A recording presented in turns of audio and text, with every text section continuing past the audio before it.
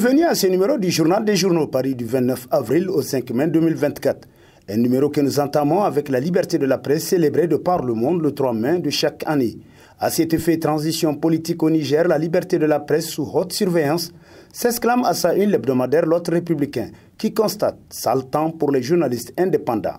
En l'espace de deux semaines, on a enregistré un emprisonnement et une détention préventive de journalistes. Conséquence, la peur prend place dans les rédactions.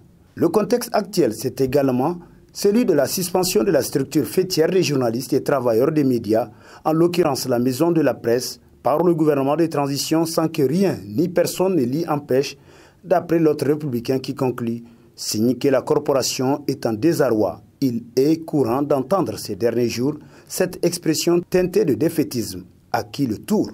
Après plus de 112 heures de garde à vue à la police judiciaire, le directeur de publication de votre serviteur placé sous mandat de dépôt titre dans sa rubrique Société L'œil de l'enquêteur, le quotidien privé du même nom, qui nous apprend que le directeur de publication de leur quotidien a été placé sous mandat de dépôt à la prison civile de Niamey dans l'après-midi du lundi 29 avril 2024 après avoir comparu devant le doyen du juge d'instruction du tribunal de grande instance hors classe de Niamey. Soumana Idriss Maïga fait l'objet d'une poursuite judiciaire par rapport à un article intitulé Installation présumée d'équipements d'écoute par des agents russes sur les bâtiments officiels. Qui cherche-t-on précisément à surveiller et pourquoi? Paru dans la livraison numéro 3089 en date du jeudi 25 avril 2024 du quotidien. En emprisonnant le journaliste Idrissa Soumana Maïga, qui n'a fait que s'interroger sur une préoccupation légitime, les autorités nigériennes envoient un terrible avertissement à tous ses confrères. La couverture de certains sujets d'intérêt général est passible de poursuites, pouvant mener à une longue détention, bien que la loi ait dépénalisé les délits de presse tels que rapportés par l'enquêteur qui renchérit cela risque de pousser les médias à s'autocensurer. Patriotisme économique et alimentaire, société Ridi Niger réunie entre fierté nationale et défi s'exclame l'hebdomadaire satirique Le Canard en furie, pour qui le credo de la société Ridi Niger est de pouvoir mettre à la disposition de sa clientèle du riz de qualité et à un prix abordable. Cela, Rini sait très bien le faire, comme peuvent en témoigner nombreux foyers nigériens qui ont été conquis par les vertus culinaires du riz nigérien plus précisément la brisure de riz. Le riz local nigérien a le même mérite d'être meilleur sur le plan de qualité nutritionnelle car moins concerné par des engrais chimiques que celui importé de l'Asie et moins exposé à l'avarie du temps et des conditions de transport. Aujourd'hui, incontestablement, Rini est une fierté nationale, une fierté de voir comment une société nigérienne, pour peu que l'on fasse confiance au génie créateur nigérien, peut se hisser à un tel niveau de performance. Cela est de nature sans doute à donner de l'élan aux responsables de cette société de persévérer dans la voie de meilleure qualité et en quantité disponible. Cependant, la RINI doit être absolument protégée par les pouvoirs publics contre la concurrence déloyale, le manque de protectionnisme national de ces importateurs véreux qui font entrer dans le pays toutes sortes de riz, parfois impropres à la consommation ou présentant des graves risques pour la consommation humaine d'après le journal qui poursuit sur les 400 millions de dollars de prêts contractés auprès de la CNPC, une partie sera destinée à la production agricole, a rassuré le gouvernement.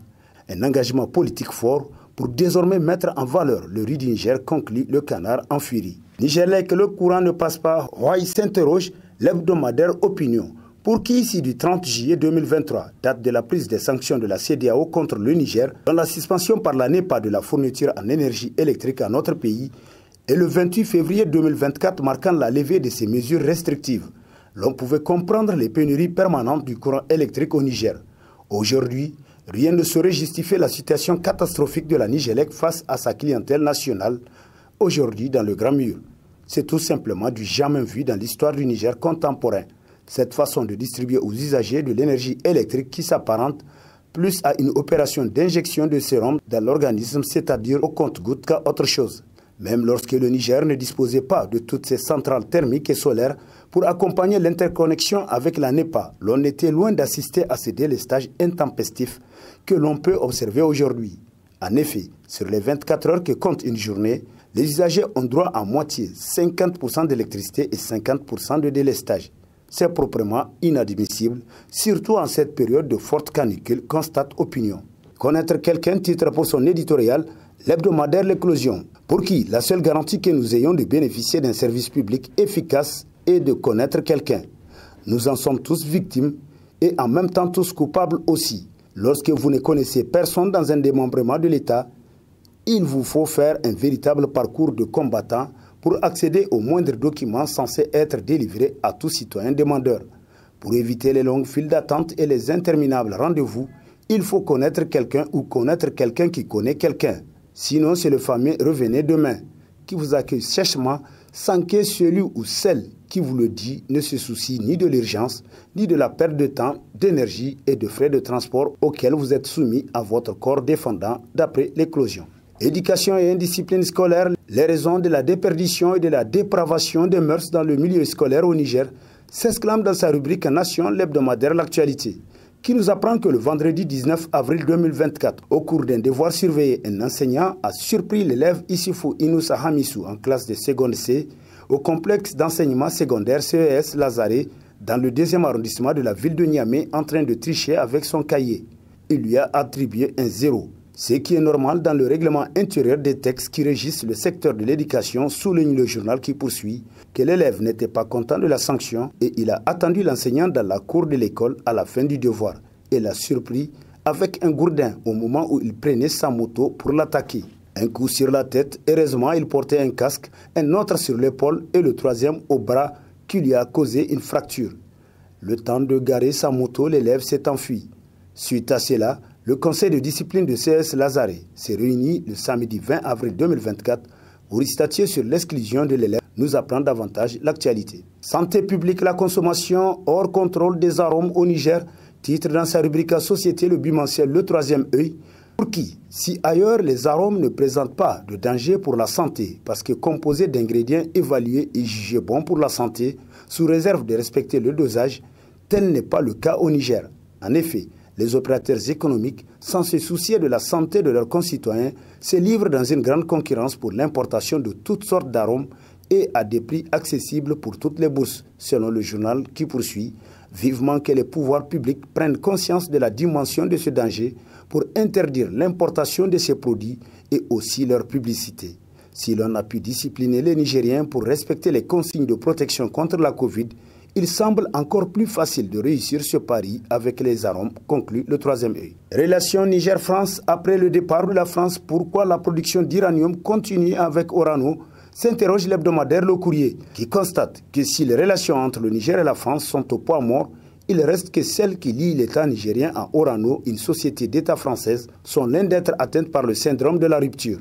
Les Nigériens s'attendaient au minimum à une remise en cause de la nouvelle méthode d'exploitation introduite par Orano dans les nouveaux accords signés avec l'administration précédente en mai 2023.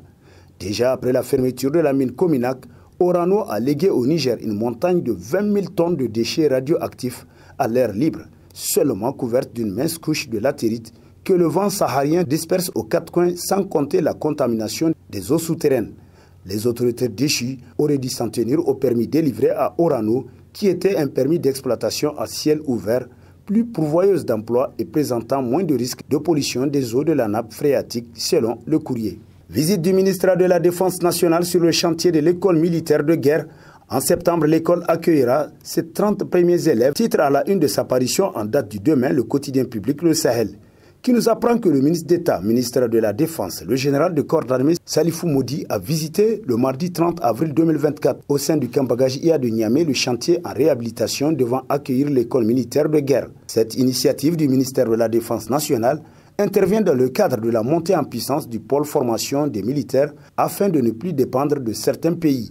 Selon les explications du colonel-major Bello Garba, L'école de guerre va dispenser un enseignement de second degré pour outiller les officiers à exercer des responsabilités de haut niveau dans les états-majors d'armée, dans les états-majors interarmés, dans les états-majors interalliés, dans les directions et les services, dans les structures ministérielles, mais également interministérielles où se conduit et se conçoit la politique nationale de défense selon le Sahel. Opération tourbillon de lutte contre le trafic et l'abus de drogue 148 individus interpellés à Niamey, titre dans sa rubrique Sécurité, Niger Inter Hebdo, qui nous apprend que des dispositifs de chicha, de cannabis, de crack, de tramadol et de produits pharmaceutiques contrefaits en quantité importante ont été saisis dans la nuit du 26 au 27 avril 2024 à Niamey lors d'une opération coup de poing menée par l'octrice avec l'appui de forces de défense et de sécurité. L'Office central de répression du trafic illicite de stupéfiants est passé maître dans ce combat et les différents corps de forces de défense et de sécurité nigériennes ne sont pas à reste. Tous méritent d'être salués, félicités et encouragés pour les efforts qu'ils ne cessent de consentir dans la lutte contre le trafic et la consommation de drogue au Niger, qui pourtant n'est pas pays producteur de drogue, conclut Niger Interebdo. Tribune d'Indou Bazoum pour appeler à la libération de son père. Ping-pong entre Zakari Oumarou et Indou Bazoum, c'est vraiment gâté entre Bazoum et Issifou, s'exclame l'hebdomadaire Le Monde aujourd'hui qui nous apprend que l'affaire fait actuellement grand bruit dans le pays et particulièrement au sein du PNDS. La tribune publiée par Indou Bazoum, la fille de Mohamed Bazoum dans l'autre républicain. En effet, comme vous le savez déjà, la fille de Bazoum qui vit en Europe depuis plusieurs années était sortie récemment pour appeler à la libération de son père, déposé du pouvoir depuis le 26 juillet 2023. Mais la fille de l'enfant de Tesker ne s'était pas limitée à ce cri de détresse émis par une enfant en faveur d'un parent en souffrance, en grande souffrance même. Dans cette tribune, la fille aînée de Bazoum avait porté de graves accusations contre l'ancien président de la République Issifou Mahamadou, appelé l'ami de papa, notamment celle d'être le cerveau du coup d'État ayant renversé son père le 26 juillet 2023. Elle affirmait qu'Issifou Mahamadou avait agi ainsi par pur égoïsme dans le seul but de revenir au pouvoir, avait-elle soutenu. Et sans surprise, la réaction du camp d'Issifou Mahamadou n'avait guère tardé à se faire entendre. Comme d'habitude, c'est le porteur d'eau maison, Zakari Oumarou, ancien président du groupe parlementaire du PNDS à l'Assemblée nationale pendant la première législature de la 7e République et ancien gouverneur de Maradi dans le second mandat d'Issifou Mahamadou, qui monta sur le ring pour désinguer à son tour l'ancien président Mohamed Bazoum qu'il accusait directement d'avoir tenu les propos tenus par sa fille ainsi que certains de son entourage immédiat. L'on sait que Zakari Oumarou est réputé pour être le chien de garde de la maison Issifou Mahamadou à chaque fois que son mentor politique était attaqué, aussi bien de l'intérieur que de l'extérieur du parti, selon le journal qui poursuit. Qu'en tout état de cause, la sortie médiatique de Zakari Oumarou révèle une incertitude. C'est très gâté entre Bazoum et Issifou, et c'est désormais un secret de polichinelle qui couvre cette relation vieille de 38 ans, comme le faisait savoir Indou Bazoum dans sa tribune incendiaire. Et si Zakari Oumarou était sorti pour répondre aux gravissimes allégations d'Indou Bazoum, c'est que le climat au sein du PNDS est devenu très délétère et nombreux membres fondateurs de ce parti ainsi que des militants et autres sympathisants partagent les soupçons de la fuite de Bazoum selon Le Monde d'aujourd'hui. Déclaration d'Abidjan ou des sages de la CDAO, les trois pays de l'AES invités à reconsidérer leur position Titre dans sa rubrique Annonce, le bimensuel Écho du Monde qui nous apprend que le Conseil des sages de la CDAO s'est réuni à Abidjan du 29 au 30 avril 2024. Le dit Conseil s'est penché sur l'importance de la nécessité qu'il y a pour la sous-région de rester unie et solidaire.